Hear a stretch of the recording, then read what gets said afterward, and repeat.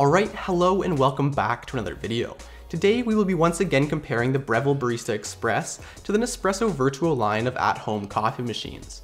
Now, we've already compared these two machines' general coffee and espresso making abilities, compared the flavors and the amount of work it takes to get a coffee out of each. But on that video, I was getting a lot of requests to do milk-based beverages. So today we'll be making two lattes, one on the Breville Barista Express and one on the Nespresso Vertuo. For this test on the Breville, I'll be using a Balzac's medium roast coffee, as on the Nespresso, I'll be using the Cairo number six roast level. Obviously I can't get the exact coffee out of the Nespresso, so this is as close as we can get. So without further ado, let's start making a latte on the Breville Barista Express, and after that's done, we'll very quickly make one on the Nespresso, and then compare and contrast how each of those looks and tastes let's jump right in. So I've already got 18 grams of beans weighed out here. I like to single dose on the Barista Express. That's just all personal preference. I also dose into a separate container to get some better distribution in the portafilter. Again, totally up to you.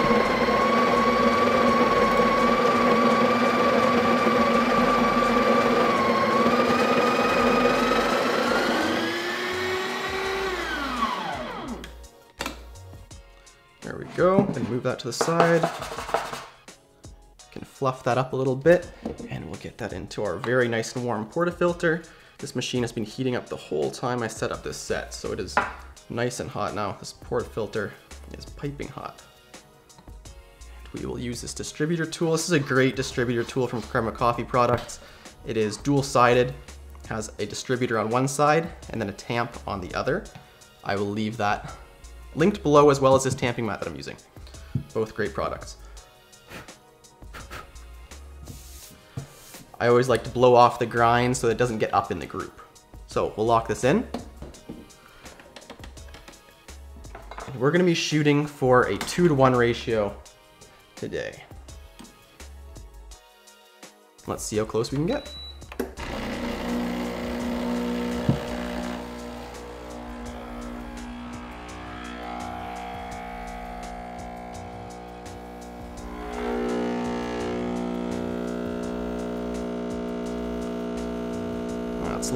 Good. Now this is a single group machine, meaning that I have to wait to steam until the brewing is done. On some more expensive machines and more expensive Brevilles, you'll get a dual boiler so you can do both at the same time.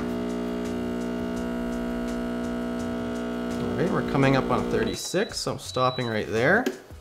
That looks like a pretty good shot of espresso. We've had the latte cup warming up on the rack here, so that's all nice and warm. We'll pull these both out and we'll dump our shot of espresso right in. Excellent. We'll start immediately warming up the steam wand as you have to wait for that to get up to temperature.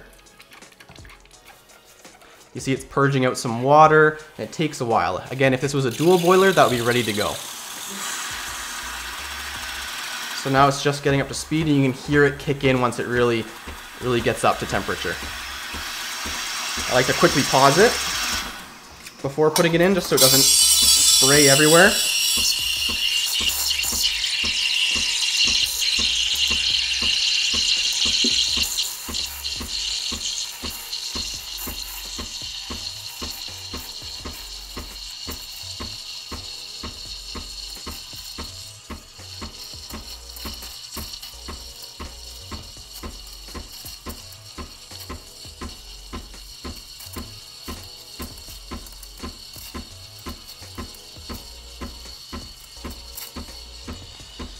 Now, some of you who are watching that might be used to using some more commercial machines, you're noticing this is taking quite a long time.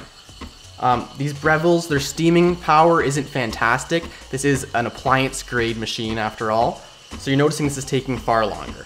For home use, if you're making one or two or three lattes, it's really not so bad.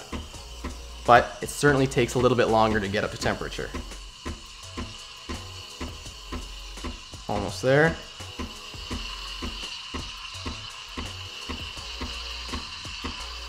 Okay, I'm just going until I can no longer hold my hand on the jug. And there we go. Remove that. Always be sure to purge. Make sure no milk gets stuck up and on the wand there. Now this is the machine bringing that water back down to brew temp. Okay, Now, we've got no guarantees, no guarantees whatsoever of latte art, but we're gonna do our best.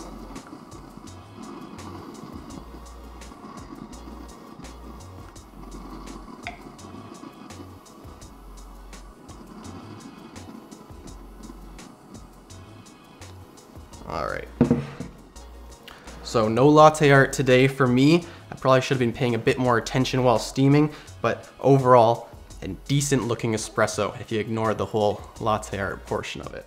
Nonetheless, that is our first latte, and let's jump on over to the Nespresso very quickly here. Now the beauty that you're gonna see with a Nespresso is that you don't have to wait to do your brewing and your milk frothing as they are separate devices. The Breville is only a single group, which means it can't brew and steam at the same time. So you have to wait and switch between the two. Obviously with a Nespresso, there's two separate devices so they can both work in tandem. So that will start brewing and I will bring the Aeroccino over here and with one push of a button, that will start mixing as well.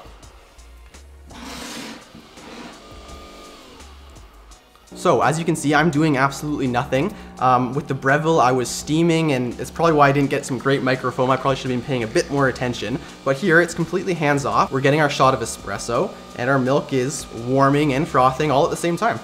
So this is, in many people's eyes, more than worth the difference in quality that we might see. And seeing as it's a cheaper system overall, I can see why people opt for this option. This is super, super hands-free. So there we go. Our shot of espresso is now just finishing up. I'm gonna pull that out there and immediately dump that in. Again, that really frothy texture that we saw before in our last review hasn't changed. These side by side and you can hear this you can hear this mixing back here. Let's see if I can get that in the shot. Not sure if you'll be able to see that. That's quite good. This they say takes around 60 to 70 seconds and you can see that just finished there. It's quite warm and as the Nespresso theme goes, very, very foamy. You know what, for the sake of comparison, let's actually put this into my pouring mug from Breville just so that we can really do a good comparison. Okay, there's definitely some foam on there. It's not super duper coarse actually. I was expecting it to be very, very bubbly. Um, it's actually not too bad. It's certainly not latte foam. It would definitely lean more towards cappuccino, but uh, it's actually not too bad. I don't think we're gonna be able to do any latte art though. You can see the crema is very different here. It's very thick. It's a lot of foam going on. If you're a cappuccino lover, this might be good. Okay.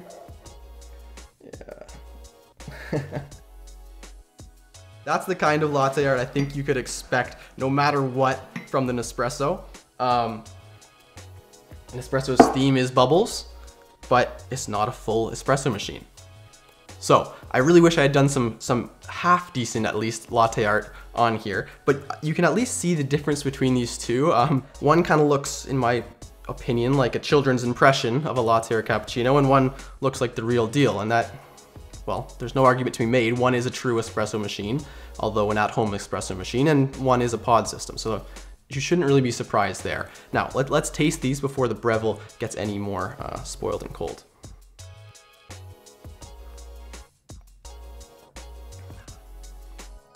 Yep. It's a good latte. I think I think my milk frothing was definitely a little bit off there. It doesn't quite have the really fine micro bubbles I'm used to tasting. Uh, the texture is still good.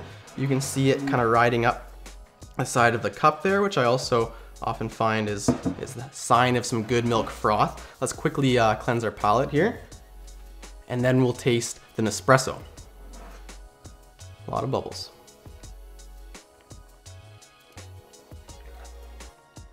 That's actually not bad.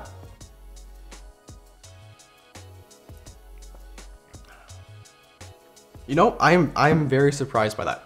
I think that if you watched my last review, one of my largest gripes with a Nespresso was, was the mouthfeel of the coffee. It was very watery, and I think that actually the frothed milk in a milk-based drink helps to mask that a bit. So these actually taste very, very similar and the texture on the Nespresso isn't actually bad now.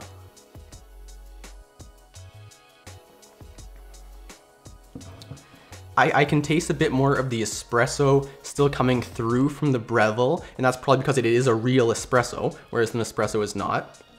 But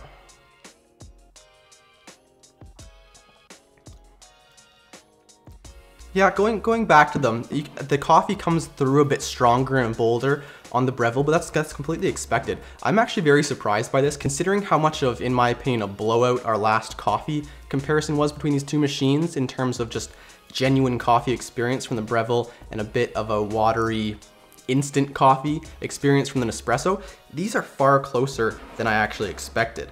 Um, especially appearance-wise, you heard me making a bit of fun, uh, calling this a children's drawing, and I'm the child that drew that. But me personally, I'm very surprised having used this machine for lattes and espresso for the better part of four years now, and having just bought the Nespresso for, as you guys know, my office purely coffee use, I didn't really bat an eye at the Aeroccino milk warmer and frother. I thought it honestly hasn't come out of the box until this review here. But having drank both of these drinks, other than the slightly unprofessional childish appearance of the Nespresso latte cappuccino, the flavors are actually quite good and, and the froth milk actually masks a bit of the not true espresso that is coming through from the Nespresso machine.